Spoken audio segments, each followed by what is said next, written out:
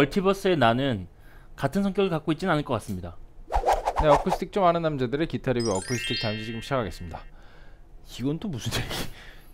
그러니까 네. 쉽게 더 조금 더 쉽게 얘기를 하자면 음. 쌍둥이여도 음. 어, 성격은 다르다. 음. multiverse라고 하니까 똑같은 나여도 다른 multiverse의 나여도 나랑 이제 살아온 환경도 다를 것이고 성격도 다를 것이다. 뭐 이런 얘기죠. 뭐 그렇게 쳐다보면 어떡하라고. 그럼 뭐 어떡하라고 그랬어? 아이 내가 악기 악기에 대한 이야기를 하고 있는 거예요. 어. 같은 기종이잖아. 어. 예, 얘만 다르잖아요. 어. 예, 같은 기종이어도 색깔은 다를 것이다. 근데 다를 그런- 것이다. 네, 그런 아, 얘기를 하고 싶은 거예요. 멀티버스. 예. multiverse가 뭐 그런 뭐 parallel universe 뭐 이런 데서 네. 나오는 평행 우주 이론 그런 거 맞아요. 얘기하시는 건가요? 아, 그렇죠. 네. 그렇습니다. multiverse의 나는 어떤 느낌일지. 예. 그, 그러게 한 번도 생각해 본 적이 없네요. 네. multiverse의 황명음은 어, 기타를 안 칠 수도 있는 것이고. 그렇죠. 인으로 안 칠 수도 있고. 그렇죠. 네. 그렇습니다. 멀티버스 하면은 매 그거 생각나. 그 드래곤볼 생각나. 아. 뭐 제7 우주에 뭐 누가 오고 제6 우주에 뭐 누가 오고 뭐 이런 거 생각나는데 그렇습니다. 뭐 같은 거라고 하더라도 네. 쌍둥이도 쌍둥이도 진짜 그렇게 다른 사람들은 진짜 많이 다르더라고요. 어, 네. 성격도 다르고. 네. 얼굴 똑같이 생겼는데 음. 정말 다른. 맞아요. 예전에 저희 제, 제가 잘 알고 지내던 베이스 치는 친구가 음. 그 일란성 쌍둥이였어요. 음. 그래서 둘이 딱 놔두면 정말 구분하기 힘들거든요. 음. 정말 구분하기 힘든데 한 친구는 베이스를 치고 한 친구는 드럼을 쳤어요. 음. 성격 진짜 달라요. 한명 음. 엄청 꼼꼼하고 한, 사, 한 친구는 완전 상남자. 음. 예, 완전 다른 그렇군요. 맞아요. 쌍둥이라도 그렇게 다른데 하물며 이 세이블은 완전 똑같은 그런 거에서 이제 상판만 다른 건데 그렇죠. 네 이게 생각보다 많은 차이를 준다고 하더라고요. 그래서 저희가 오늘 이 쌍둥이들이 과연 얼만큼 다를 것인가 요거를 한번 확인해 보는 시간을 가지려고 이거는 일란성에 가까운 한 1.1한성 어, 1.1한성. 그 정도라고 봐야 될 것 같아요. 네, 똑같은 조금, 기타예요. 네. 조금 뭐 이런 부분에 있어서 이게 이유는 잘 모르겠는데 무게 차이가 나는 건 약간 이해할 수 없는 차이기는 해요. 무게가 차이가 좀 많이 나요. 목재는 건조 상태에 따라서 다를 수 있는데 카본은 그럴 수가 없잖아요. 맞아요. 상판 두께도 도- 똑같은데 이게 이거랑 바스켓 위브랑 이게 이- 아, 100g이나 더 나가는 이유는 음. 모르겠어요. 그건 모르겠는데 이거 말고는 상판 무늬 말고는 아예 차이가 없기 때문에 저희가 오늘 이번 시간에 그냥 그거를 비교하는 데 좀 포커스를 맞춰서 리뷰를 네. 전해드리도록 하겠습니다.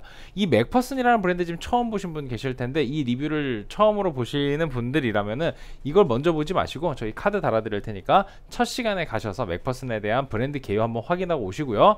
이거 보셨으면은 그 다음에 이제 전 시간 가셔가지고 그렇죠. 어, Sable에 먼저 honeycomb 했었던 모델 어, 보고 오시면 되겠습니다. 네 스펙 살펴보겠습니다. 스펙 완전 동일해요. 어 447만 원에 할인가 가지고 있고요.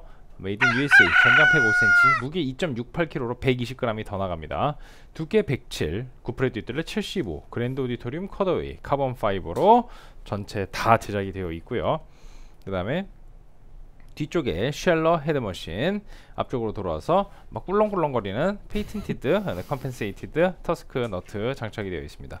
44.5mm 너비에 지판도 역시 carbon fiber. 스케일 648mm 어, LR Baggs Anthem SL 픽업 요거 지난 시간에 또 설명드렸던 것처럼 마이크 볼륨을 이렇게 조절을 해주실 수가 있습니다. 차이는 정말로 무늬 차이밖에 없어요. 완벽하게 동일한 맞아요. 기타입니다. 자 보시면은 이게 basket weave고요. 직물 어, 이렇게 짜여진 모양. 이거는 honeycomb 육각형의 벌집 모양. 여기서 과연 사운드 차이가 날 것인가? 바로 다이렉트 비교해 볼게요.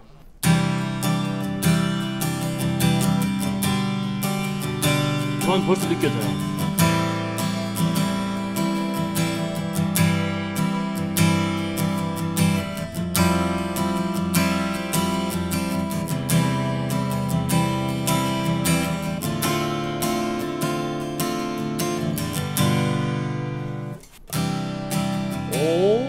많이 나요.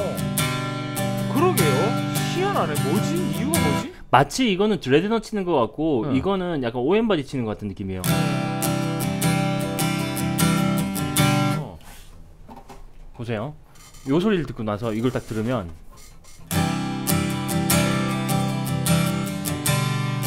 이런 느낌에서 이렇게 세계관이 확장되는 맞아요. 느낌이네요. 이쪽이. 맞아요. 어 그리고 어 막 배음이 더 많아지는 건 아닌데 그냥 전반적으로 그냥 세계관이 조금 넓어진다라는 느낌으로 보면. 될 것 같아요. 네, 그런 그래서 느낌이에요. 네 이게 사이 이런 느낌으로 사이즈 R R 하나 하나의 크기가 이 정도고 쟤는 사이즈 R 맞아요, 하나 하나의 맞아요. 크기가 네, 저 네. 정도다. 상판 생긴 대로 논다. 그런 느낌이에요. 어. 맞아요. 상판 떼기처럼 논다 이런 느낌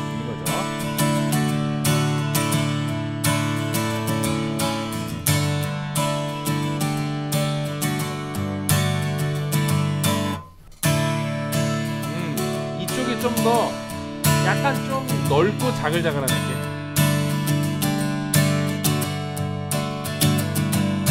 요런 사운드죠. 네. 요걸로 핑거 먼저 네, 하고. 핑거 네, 바로 들어보겠습니다.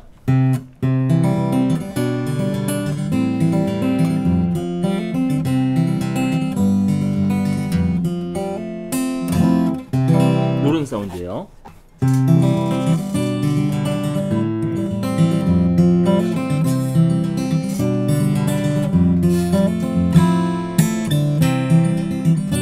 이게 조금 더 넓죠? 네. 느낌이. 그리고 어, finger에서는 그렇게 크게 차이가 많이 안 느껴지는데 그 스트로크 할 strum에서? 때서 네, 굉장히 네. 차이가 많이 났습니다. 자, 그러면 신기하네요. 실제로 차이가 난다는 게. 앰프 사운드 들어보겠습니다. 네.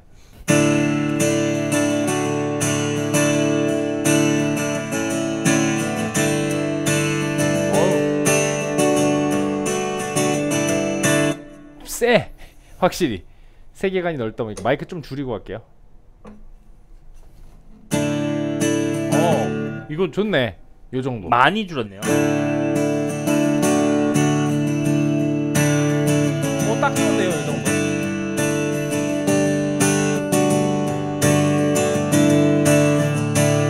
와, 근데 확실히 이런 기타들은 힘은 진짜 좋네요. 네, 그렇습니다.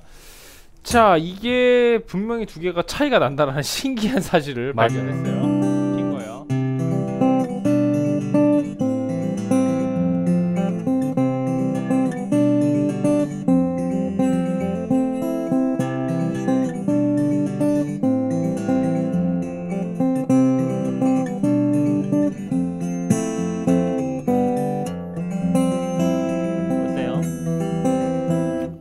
사운드 괜찮은 것 같아요. 네, 사운드 네. 괜찮은 것 같아요. 사실 저희 둘의 취향에는 이쪽이 더 가깝잖아요. 네, 맞아요. 좀더 넓고 저 자글자글한 그런 느낌이 음. 나는 아무래도 basket weave 쪽이 저는 좀 더 개인적인 취향에는 맞다. 음흠. 어, 근데 명업 씨도 아마 그럴 것이다 예상을 맞습니다. 하면서 자 이거 여기까지 사운드 모니터 해봤고요. 그럼 어떤 곡 들려주실 건가요? 네, 이건 제 노래 Scent of Memories. 네, Scent of Memories 기억 냄새 기억내 네 듣고 오도록 하겠습니다. 뿅.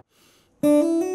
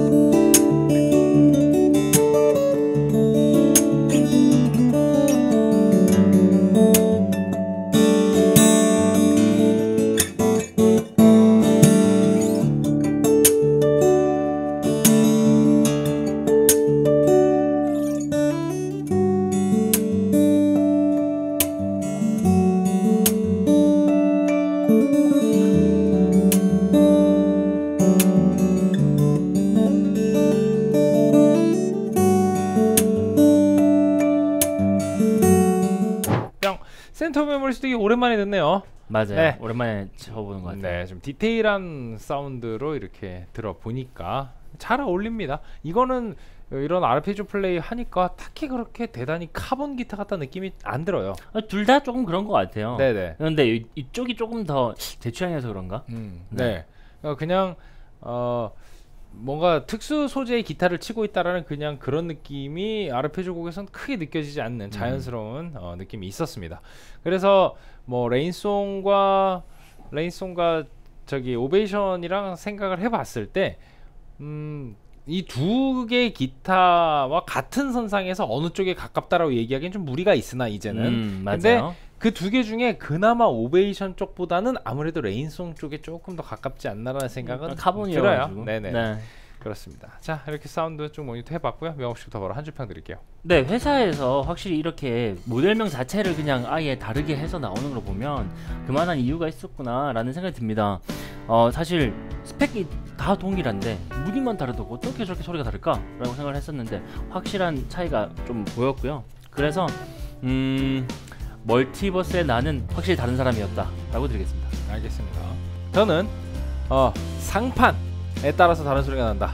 역시 상판 떼기 같이 이렇게 상판 떼기 따라서 다르다 해서 좀 생긴 대로 논다 이렇게 드릴게요. 네, 얼굴이죠 상판이 기타에. 네, 점수 몇 대면? 88. 네, 이게 소리가 좋아졌다라기보다는 응. 어떤 그런 기조가 좀 다르다라고 맞아요. 어. 보- 봐야 되기 때문에 그래서 아까도 점수를 올리기는 좀 그렇고 가격은 올라갔지만 점수를 내리기가 좀 그렇고 그렇죠. 이것도 소리가 좀 더 우리 취향이긴 하지만 점수를 올리긴 그렇고 그렇죠. 뭐 그런 느낌입니다. 딱그 정도. 7주기에는 괜찮고 8.5주기에는 좀 비싸고 잘 모르겠고 그렇죠. 그런 맞아요. 느낌. 맞아요. 그래서 저희가 그냥 안전하게 팔. 8로만 계속 그냥 쭉. 쭉 팔 네, 올팔 맞아요. 올팔 했습니다. 자 이렇게 오늘 처음 보는 McPherson 시리즈 쭉 살펴봤고요. 다음번에 또 McPherson이 이런 것만 하는 브랜드는 아니에요. 맞아요. RainSong처럼 애초에 비 맞아도 되는 기타만 전문적으로 만들겠다라는 느낌은 아니고. 네 아예 막 목재를 이용한 일반적인 어쿠스틱 기타들도 많이 있기 때문에 다음번에 McPherson에도 다른 매력을 볼 수 있기를 네. 기대하면서 오늘 어, 이 카본 시리즈는 여기까지 리뷰하도록 하겠습니다. 다음번에 또 재미있는 기어들 가지고 돌아올게요. 유튜브 구독과 좋아요는 저에게 큰 힘이 됩니다. Acoustic. Times.